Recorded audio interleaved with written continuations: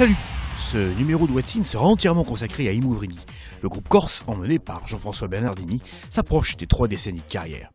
Partie des polyphonies corses, la musique de Imouvrini n'a jamais cessé de s'ouvrir à de nombreux métissages, pop, folk ou world, sans jamais perdre son âme, ni cesser de véhiculer des messages forts que Jean-François Bernardini met en action au sein de la fondation Oumani. Retrouvailles chaleureuses avec Imouvrini dans Watson. Bonjour, c'est Jean-François Bernardini d'Imouvrini sur Watson. Soleil de mystère, je déroule mes voiles et je brave le temps. Et je suis ce décor et je suis ce repère que caresse les vents. Et j'ai Beaucoup de concerts, euh, beaucoup de concerts, euh, des belles tournées à travers l'Europe. Et puis, puis on s'est remis au travail en studio. On a, n'avait pas vraiment de deadline. Et puis, et puis on s'est mis à travailler. On, a créé, à écrire. On a enregistré euh, entre 25 à 30, 30 titres, des, brouillons. Et puis, on s'est dit, bah, ça commence à prendre forme. Et puis le titre est venu, Invicta. Et puis ce nouvel album est là. Et on est très très heureux parce que c'est le, fruit d'une belle, euh, d'un beau travail avec une équipe. euh, donc on est très très heureux et je crois qu'il porte un élan, un souffle. On est très heureux de son titre aussi parce qu'il dit un mouvement, un élan, un enthousiasme. Il dit aussi qu'il y a dans le monde des vents contraires. C'est pour ça qu'il faut marcher, résister et se donner la main face à la tempête. Et, en même temps, c'est c'est la conscience et c'est envie d'apporter du sens et de la bonne nourriture à ce public qui nous suit, à celui qui nous découvre de plus en plus nombreux.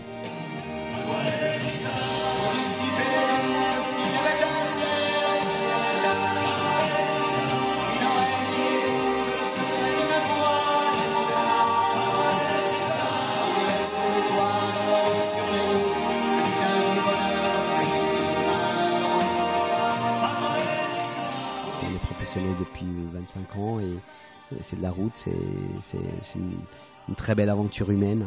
Et, euh, et en même temps, c'est se rendre compte que, je le dis avec beaucoup d'humilité, je crois que ce que nous portons trouve une juste adéqua- adéquation avec l'époque, avec le temps, euh, et, que les gens ont besoin de choses euh, incarnées, ont besoin de, que, les artistes, plus que jamais, transportent des mots qui, ont, qui ont une substance. Quoi. Il y a- il y a- je crois qu'il y a une saturation de, de, de, non-contenu et et on a envie véritablement de, se fédérer autour de choses qui ont du sens, qui valent la peine et qui nous donnent à tous l'envie d'être ensemble et les moyens peut-être de mieux vivre ensemble.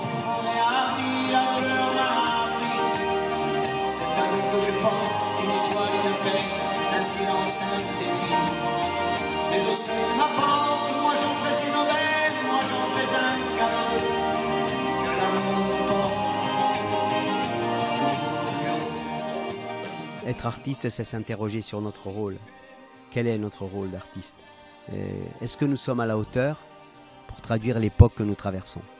Les inquiétudes, les espoirs, les rêves, les douleurs, euh, et puis le, le désir de vivre ensemble. Est-ce que nous sommes à la hauteur? Et Je crois que si on se pose ces questions-là, euh, il n'est pas facile d'avoir la conscience au repos, mais je crois que c'est très bon pour le caractère.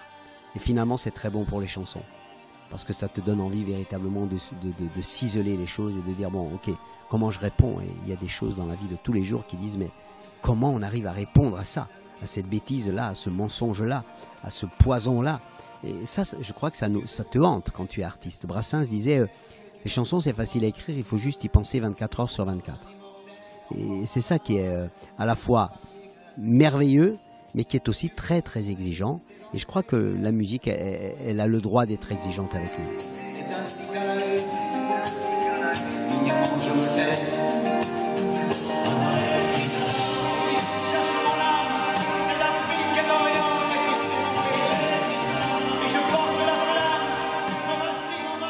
Non, je crois que ce qui porte, euh, ce qui nous porte dans cet album, euh, c'est d'abord cette thématique de la non-violence dans laquelle on est profondément engagé depuis des années avec la Fondation Oumagne, avec des formations, avec des sensibilisations. euh, quand, je, quand je dis quelquefois à la presse que la Corse est aujourd'hui la région de France où se déroule le plus grand nombre de formations à la non-violence. C'est un peu le canal inattendu, ça, tu vois. Un peu, mais en même temps que nous faisons ça aujourd'hui dans la Seine-Saint-Denis, à Marseille, à Valence, avec le club de football de la Saint-Étienne qui vient de, avec lequel on a signé un partenariat pour euh, former ces cadres et les 1200 jeunes qui reçoivent chaque année. Donc ce thème de la non-violence, il est transversal à cet album. Euh, et, puis, et puis euh, euh, euh, se dire, mais euh, pour lutter, il faut être heureux. Le bonheur de le faire, la joie positive. Donc être semeur d'enthousiasme et semeur de bonnes nouvelles, c'est quelque chose qui nous tient à cœur. Il ne s'agit pas, le monde, il a, il a- il a besoin de tout sauf de l'amorosité.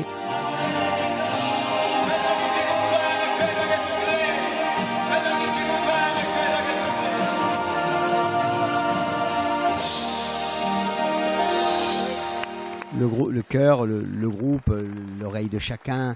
Et puis à un moment donné, tu, te sens bien compte que tu te rends bien compte que les, idées plus faibles ne tiennent pas et que et qu'il faut bien faire des choix. Il faut passer au tamis, quoi. Et puis et puis euh, puis à l'instinct aussi, hein, la sensibilité. Donc je crois, ben, il y, a, des chansons qu'on aurait aimé mettre et qu'on n'a pas mises. Euh, et puis on s'est dit, euh, généralement on dit un album, 10, 12 chansons, c'est bien. Là, on a voulu aller plus loin. Quoi. On s'est dit non, mais pourquoi pas soyons généreux avec ceux qui justement viennent à notre musique. Et je trouve que finalement 15, à- 15, 15 chansons, c'est super. Et, euh, c'est le travail du tamis. Il n'y a pas vraiment de règles, si ce n'est de dire bah celle-là elle nous semble assez proche de l'intention que nous avions au départ.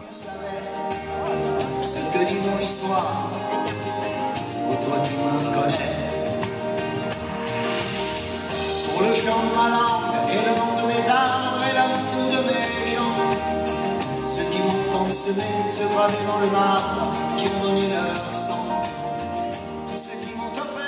La déclaration des droits de l'homme, c'est justement dire que l'homme, il n'a pas besoin de pain et de frigidaire et de mots croisés. L'homme, il a besoin de quelque chose de plus. Et, et ce plus-là, ce qu'on pourrait appeler le supplément d'âme, d'une certaine manière, c'est ce qui nous rend humains, c'est ce qui nous dicte des comportements, des attitudes profondément altruistes, qui nous remet avec notre nature humaine et qui est empathique, coopérative, altruiste, contrairement à ce qu'on nous raconte tous les jours. hein. On n'est pas des consuméristes égoïstes. Notre nature, elle est beaucoup plus non violente et altruiste qu'on ne l'imagine. Donc euh, voilà, les droits de l'âme, c'est un peu tout ça, quoi. Mais c'est un titre inachevé, j'ai envie de dire. C'est que le début.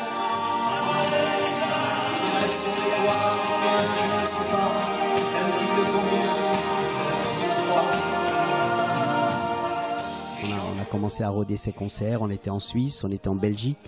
On a fait quelques, ouais, l'Olympia. Euh, on était, on a fait pas mal de villes en France, on- à Brest, etc. Et donc oui, je crois que c'est un groupe qui, vit sur scène, quoi. Et aujourd'hui, ce que viennent chercher les gens, c'est cette relation. Je suis assez euh, époustouflé euh, de voir euh, quel type de relation on établit dans une salle avec, avec, avec un public. Quelquefois, je dis, c'est pas notre public, c'est notre équipage.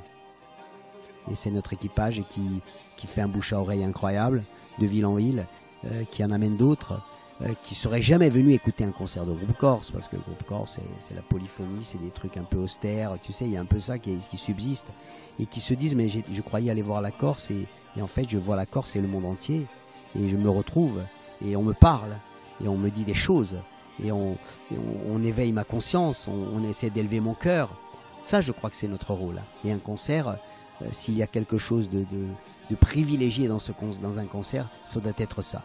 Ce qui nous rend humble à la fois et de dire, bon, eh ben, comment on invente ce scénario à chaque fois et comment on fait d'une soirée euh, quelque chose de magique, quelque chose qui est un voyage, et puis quelque chose qui transforme un petit peu les cœurs et les âmes qui viennent à notre rencontre.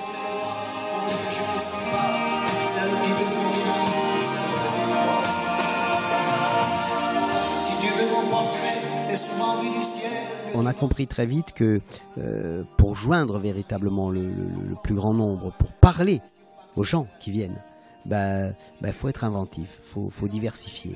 Ça ne rend d'ailleurs que plus de valeur au moment euh, euh, a cappella où on fait une polyphonie comme ça. Et là, les gens sont véritablement euh, euh, très très séduits et souvent époustouflés, quoi.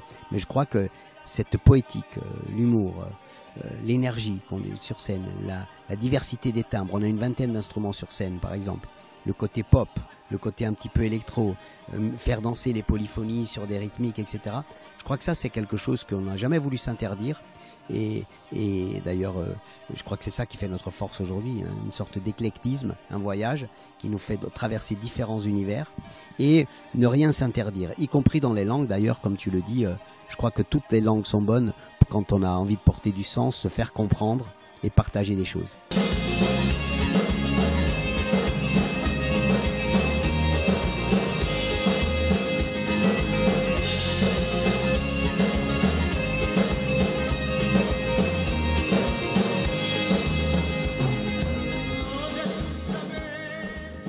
De- d'être des chanteurs qui, qui, qui faisons passer dans le cœur et surtout dans les actes des choses. Très souvent, on dit c'est votre fondation. Non, c'est la fondation du peuple.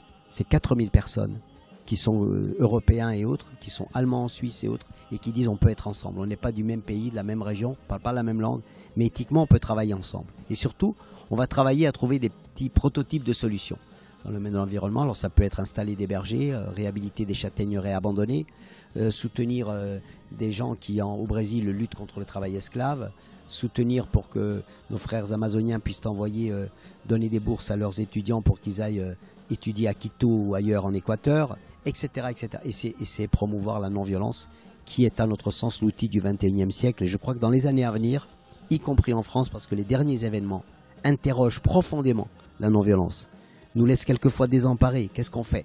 Eh bien, la non-violence est un outil merveilleux. C'est une boussole extraordinaire qui d'ailleurs fait référence à de nombreux grands frères qui, dans l'histoire, ont prouvé combien elle pouvait être efficace. hein.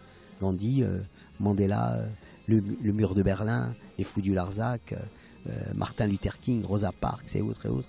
Je crois que tout ça montre combien la non-violence est un outil pertinent dans un monde où nous sommes contaminés par la violence dès l'enfance et où nous ne sommes pas éduqués face au conflit.